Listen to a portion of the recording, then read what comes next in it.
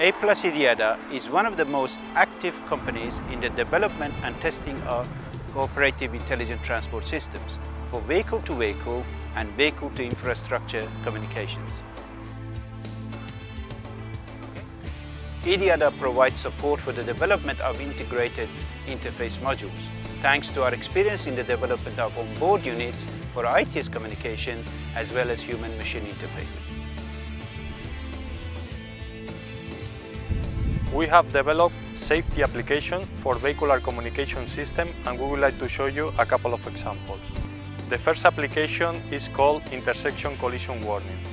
We can see how both cars communicate with each other and in case of risk of collision, each vehicle warns its driver.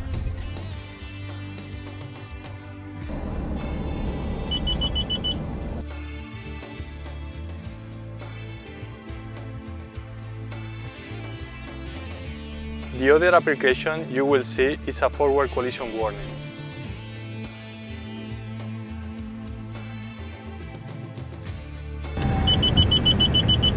As in the previous application, this system also warns the driver if there is a risk of rear-end collision.